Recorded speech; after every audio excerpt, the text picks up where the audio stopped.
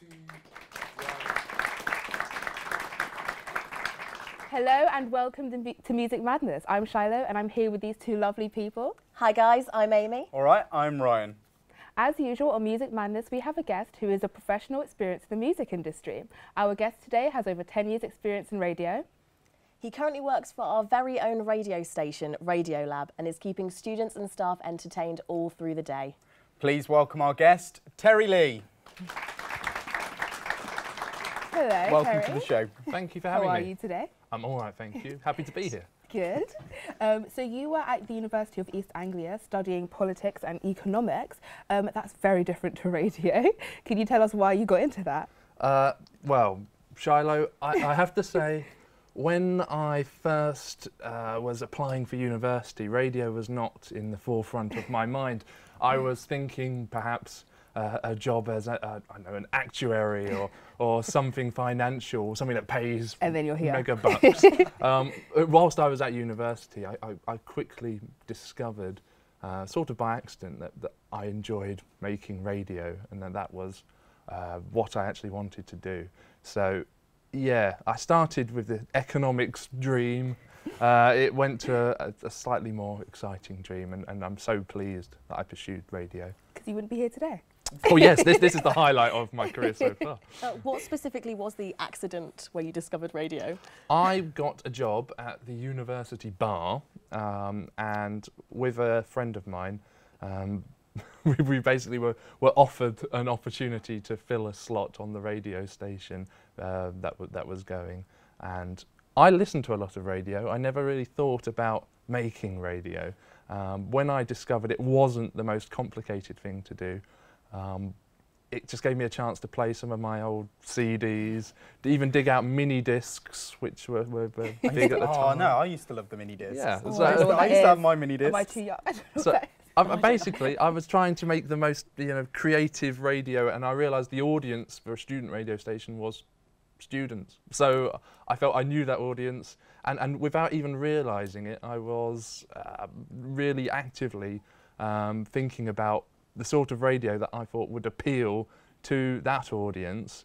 Um, which is, is, is, I guess, the main thing you want to do when you're making a radio program for a station. Make sure you're, you're making the right sort of content. uh, and, and making radio is, is such an accessible, it's an accessible medium. It's so easy and fun to do. Hmm. Um, and, and, you know, it's, it's something I recommend everyone get involved in. Because it's so interesting and politics and economics are very different to radio. Is there anything that you brought into that course, into radio? Huh.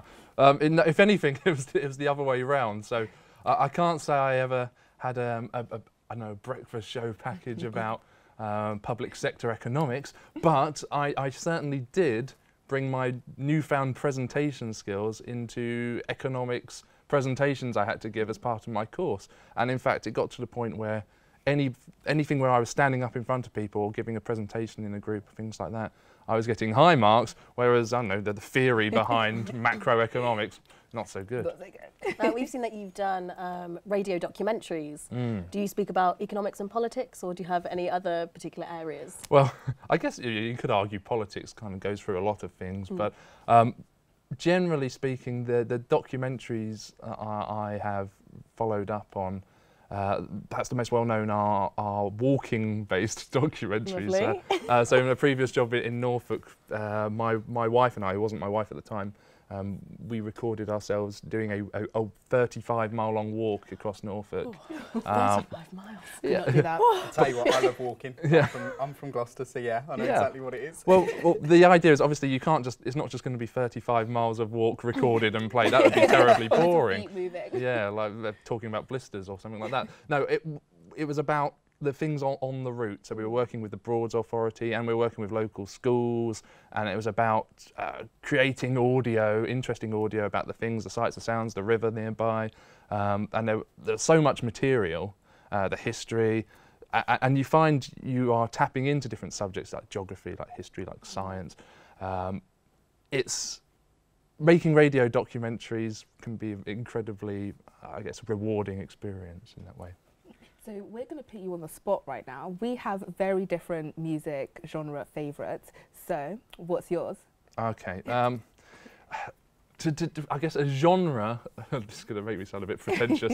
um, I, I'm quite into the sort of post-punk era, like so after the, the 1970s, like early 1980s. Um, there, there are interesting bands like came, coming coming out of the punk era, um, and even acts like Adam Ant. Uh, there's a band called Wire. There's Gang of Four, and I, I love listening to their music. Um, most of these involve guitars Yeah. and drums. I can't say I'm uh, as up to speed with uh, some of the, the, the music the students are playing on Radio Lab at the moment, but uh, you know I'll try and uh, keep up to speed as best I can, as, as much as my interest allows. Um, but yeah, things things with guitars uh, and some indie music, and, and recently a band called Grizzly Bear. I've been listening to their album, really enjoying it. Recommend it. Are you known for doing a bit of air guitar in the studio no one can see you in that. Yeah, certainly air guitar, singing along um, loudly when no one else is in the room. I can do that for sure. So you've done a lot of shows Sure. um, over the time of your career. Um, what was some of the most memorable shows you've done?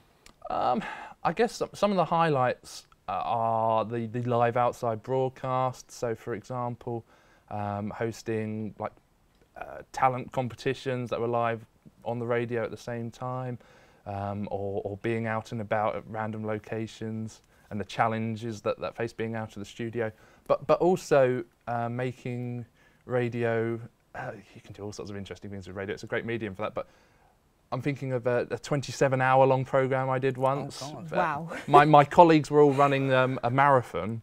I didn't want to run a marathon. I'm, I'm, I'm not really built for a marathon. um, so, and what, what I decided to do is do a marathon broadcast. So rather than 26 point something miles, it was 26 point something hours of, of Wow, programming. That is intense. So painful. obviously there were challenges in the middle of the night, but there were always people listening and getting involved, and I was sort of guests on doing like live sets and, and people on the phone and all sorts. It was Was that on your own or was that with multiple people? Um, I, I was the only one that did the whole time. There would Oh, be God. occasionally other people coming in, uh, either a, as guests or occasionally, you know, I was showcasing other presenters on the station. So, for example, when I was on at 10 p.m. at night, the, the show that would normally have been on at that time was an electronica music show, a genre I'm not particularly uh, up to speed with. But I got him to come on and talk about how he got into the genre, and we discussed some of the music, and I played some of the uh, very basic tracks that I was aware of that could be electronic. Anyway, and, and so there were lots of um, interesting things like that. And I guess when you're doing a 27-hour show, as much as the endurance, it's uh, it's ex- trying to experience what it's like to, to, to be doing these shows at different times. I was very much a breakfast presenter at the time, so doing uh, magazine programs and doing specialist music programs. That was an interesting challenge for me as well. So you've worked on radio for so many years. There must be like celebrities or big names that you've worked with. Can you tell us and our audience Yeah, any of those big names? Sure. I, I guess the the most famous um, people I've worked with, and then one wasn't famous then, but became very famous. Um, going back to the Battle of the Bands competition I was talking about, Ed Sheeran was the Oh, winner. God. Wow. And so, as a 16-year-old, him and his dad would come in to our, our station. They they won our competition. I believe he still plays the guitar, which was part of the prize he won Oh, as he headlined, and, and he he was a class act then. You know, he was still doing his loop pedal thing, and he was able to to stay on the stage even when he broke all the strings on his guitar. Um, it, it, he, he was amazing to watch. He's just a real talent. So it's no surprise he's gone on to be very successful. Although perhaps I'm quite surprised. He's amazingly successful, but I thought he was going to go somewhere, and, and, and it turns out he did. Um, the person I met who was famous at the time um, caught me out. So uh, you may have heard of Theresa May, our current Prime Oh, Minister. Oh, Uh, she, she came into the, the radio station once as part of a PR stunt to launch a government initiative called the um, Big Society. And uh, at the time, she was Home Secretary. And uh, I wasn't aware she was going to come in, so I, I had come to do the breakfast program, arrived at 5 a.m., uh, flip flops, shorts, t-shirt, you know, stains on my jumper, things like that. A- and then during the show, I was told you know, Theresa May's coming in, and there's TV cameras, and there's a whole press crew coming in. Oh, she no. wants a tour of, of the station, and you're the only one that's going to be there to do it.